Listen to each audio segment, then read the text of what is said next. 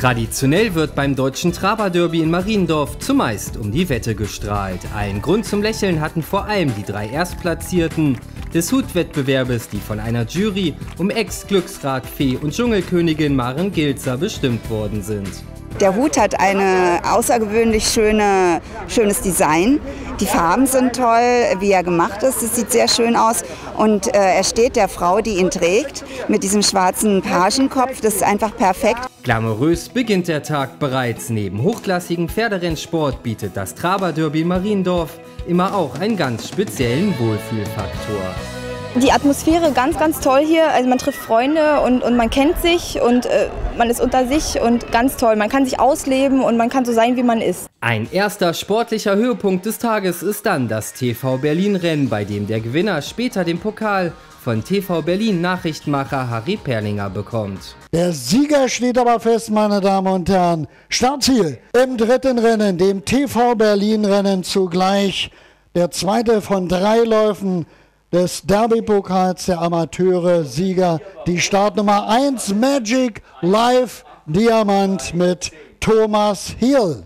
Ein Mann für Herausforderungen ist auch Ronald Hülsgaard, der den dritten Vorlauf zum deutschen Stutenderby für sich entscheiden kann. Und das, obwohl ihm und seiner Stute in Dirabo vor dem Rennen nicht die Favoritenrolle zugesprochen wird.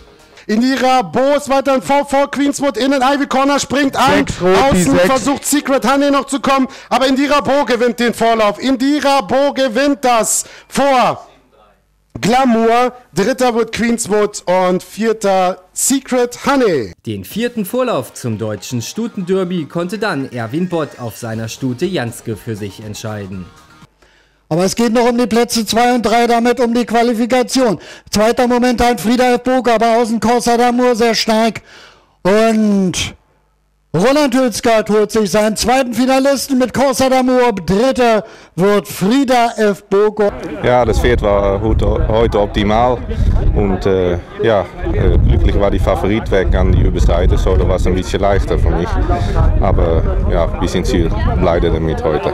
Nach einer Woche Ruhe wollen beide am kommenden Wochenende natürlich vorne mit dabei sein. Muss gucken, welche Nummer wir kriegen am Start, das ist sehr wichtig. Und äh, sie muss wieder ein bisschen passende Rennen haben denke ich, im Finale. Und dann versuchen wir es wieder. Die Dame mit dem schönsten Hut, Pauline Stolze, strahlte natürlich auch nach ihrer Ehrung weiter um die Wette. So bezaubernd darf und soll es in den kommenden Tagen dann bitte auch weitergehen.